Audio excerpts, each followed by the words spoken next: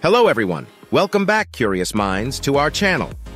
Today, we're diving into a fascinating topic that has intrigued scientists, psychologists, and the general public for decades. The differences between male and female brains. Let unravel the truth and debunk some myths in this journey of exploration. There are many differences between the female brain and the male brain. Let me tell you about a few of them in detail. 1. Ability to work. A woman brain can multitask well, but a man brain can only do one task at a time. That why a woman can read a book while enjoying a song, but a man can't do both at the same time. Either he has to listen to the song or else.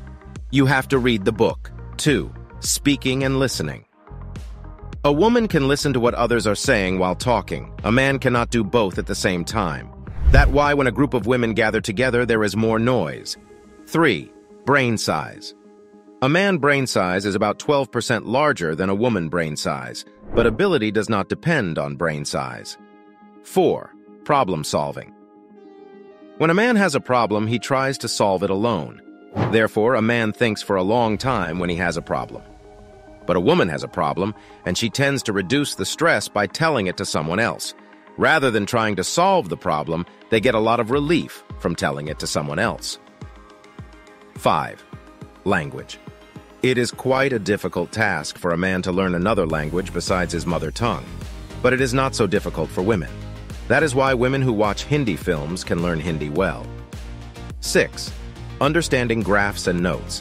A man has the ability to easily understand charts and house plans, but one thing is difficult for women. 7.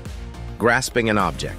A male brain can quickly grasp the size and speed of an object, but a female brain can grasp it as quickly, which is why driving is backward for women. 8. Conclusion.